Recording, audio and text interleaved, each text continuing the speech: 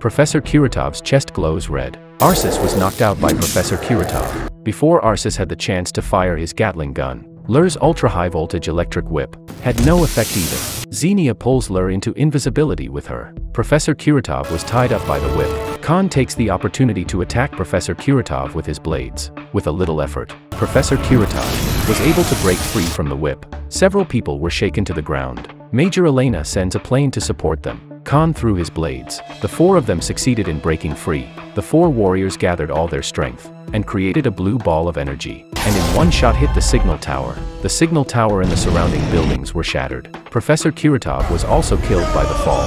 The four of them finally defeated Professor Kuratov and saved the Earth.